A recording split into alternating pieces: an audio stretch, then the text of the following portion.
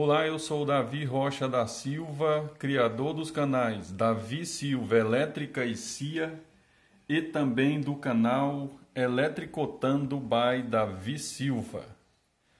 Eu estou aqui de frente a uma Electrolux DFN 52 Frost Free.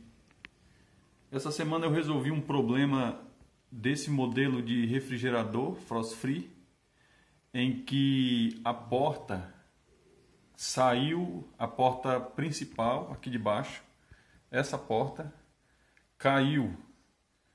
Quando a proprietária tentou abrir a geladeira, essa porta caiu no chão.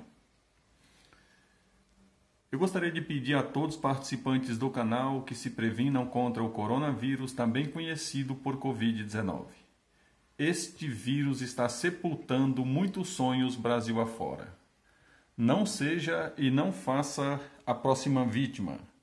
Usem máscaras. Lavem suas mãos. Fiquem em casa. Lembre-se, embora a vacina já está liberada no Brasil, existem grupos prioritários. O principal objetivo desse vídeo é falar sobre a causa, por que, que essa porta caiu e alertar os proprietários desse modelo ou de outras geladeiras ou refrigeradores o cuidado que deve ter, porque eu observei a causa principal da quebra do pé, nós podemos chamar de pé regulável, que apoia essa porta lá embaixo. Aqui embaixo aqui, ó.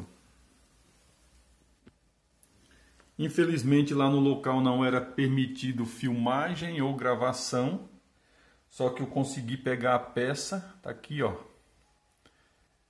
Essa é a peça, deixa eu tentar afastar aqui. Caiu um pedaço dela no chão, o pedaço que caiu é exatamente o pino que vai aqui ó, que apoia essa porta nessa posição. Podemos observar aqui, isso aqui é um pezinho ou uma base regulável, né? É, é bem resistente. Para ter ocorrido a quebra desse pino aqui, e esse é o principal objetivo do vídeo para alertar as pessoas que têm é, essa geladeira com esses modelos de pé, é, a tomar cuidado. O que, que eu percebi na casa da cliente? Eu percebi que essa porta aqui nós temos o hábito de colocar garrafa de água, refrigerantes nela, outra e um monte de outras coisas. O que tinha nessa porta aqui certamente ultrapassava aqui por dentro, deixa eu abrir aqui essa aqui. O que tinha aqui nessa porta ultrapassava muito mais que 50 quilos. A soma total do que eu vi depois. Tanto é que eu aconselhei após a troca a não colocar tanto peso nessa porta, porque quando a gente põe peso aqui, tudo que tiver de peso nessa porta vai passar para aquele pino lá embaixo, que é esse aqui, ó, que eu troquei, que foi trocado. Ele fica exatamente aqui embaixo aqui, ó. Então a porta caiu, despencou no chão, quebrou alguma das garrafas que estava dentro e o objetivo principal desse vídeo é alertar as pessoas a não colocar muito peso nessa porta. Então nós podemos ver aqui como é que ficou o pino. Deixa eu pegar aqui a outra parte da base. Olha ela aqui, deixa eu pegar aqui na mão, ó. A porta é encaixada aqui junto com esse com essa base ou com esse pé regulável. Para quebrar isso aqui, para para chegar a quebrar isso aqui, o esforço, o peso que tinha na porta era muito grande. Então eu fiz essa troca, eu demonstrei para a proprietária, eu sugeri que não fosse colocado tanto peso na, na porta, né? É, que essa porta não foi construída para suportar tanto peso, igual eu vi na residência da pessoa. E assim evitando colocar tanto peso, certamente vocês não terão a quebra desse pé. Eu chamo de pé ou base regulável, né? Que fica exatamente aqui. Ó. A troca não é difícil, são quatro parafusos 10 milímetros, fica aqui nesse ponto aqui, ó. Aqui assim, ó. A troca não é difícil, existe um custo para essa peça. É, na média, o custo dela em três, quatro lugares que eu pesquisei saía em torno de 100 reais.